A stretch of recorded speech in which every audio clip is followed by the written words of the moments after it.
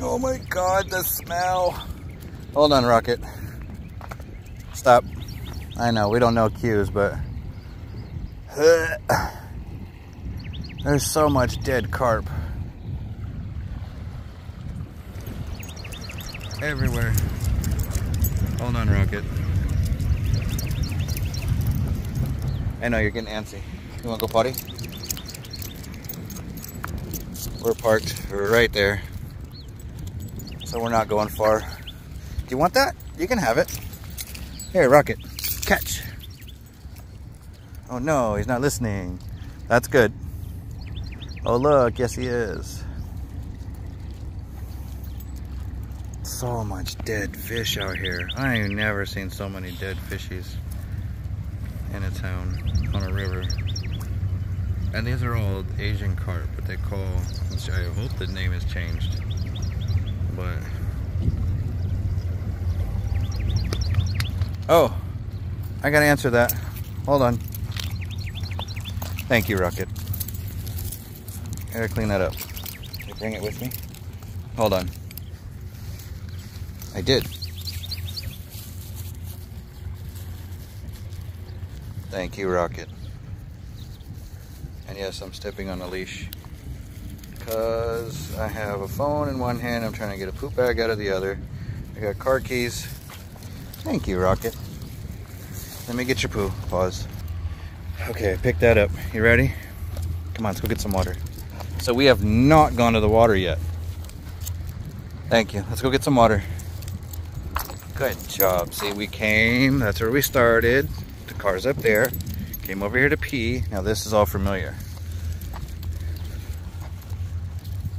From that, basically that point over, where he pooped, It's familiar. Come on, Rocket, let's go get some water. We're not loading up yet. Rocket. He knows there's a dog up here. There was a dog that tried to come by. Thankfully, the old man realized we're not interested. I'm sure his dog is totally friendly. Good job.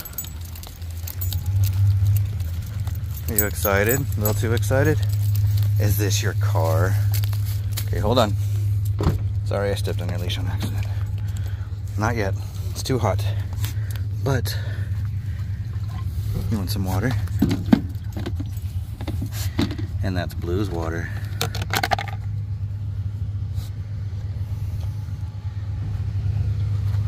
Ouch. I see him. You want to cuddle?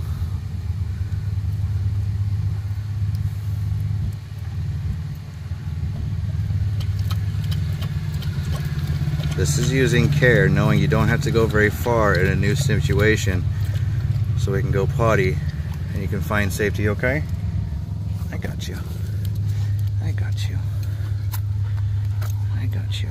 All right, we're done. And see, I can cuddle and still hold his harness just in case.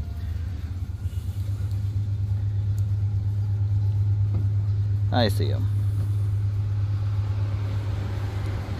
All right, hold on.